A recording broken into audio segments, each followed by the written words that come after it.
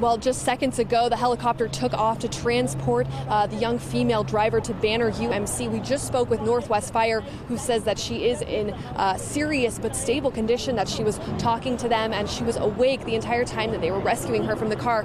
Now, take a look. They're cleaning up this wreck now. It's a pretty, pretty nasty wreck, and this was all caused uh, earlier when there was an earlier backup on I 10 because of a wrong way driver near Twin Peaks in Avra Valley, and that collision collision caused a backup of traffic, and the driver of that small car that's completely crushed up there uh, was unable to stop in time before hitting the back of that box truck, and the car pretty much just slid underneath the box truck. It's absolutely totaled if you can just see the pieces of it lying all over the road.